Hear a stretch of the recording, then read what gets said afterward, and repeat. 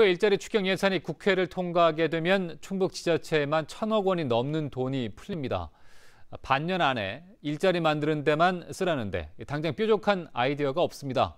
과연 어떤 일자리가 생겨날까요? 심충만 기자가 취재했습니다.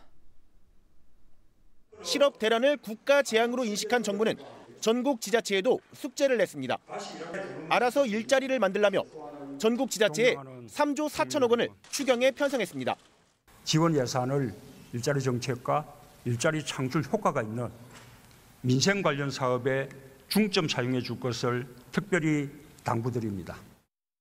국회에서 추가 경정 예산이 통과하면 충청북도와 11개 시군에 배정될 추가 일자리 예산이 1,154억 원, 공무원 추가 채용과는 상관없는 별도의 예산입니다.